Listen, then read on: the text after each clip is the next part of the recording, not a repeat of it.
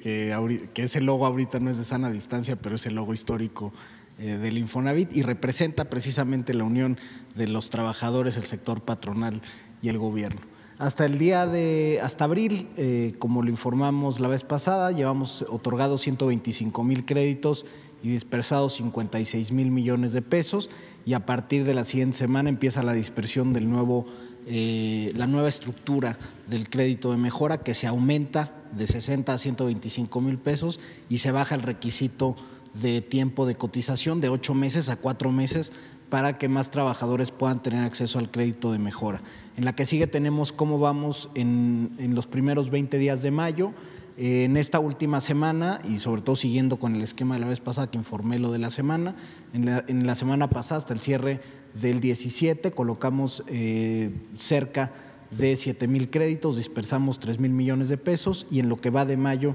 llevamos colocados cerca de 13 mil créditos y eh, dispersado 8 mil 500 millones de pesos. Entonces seguimos avanzando con la dispersión a favor de la economía.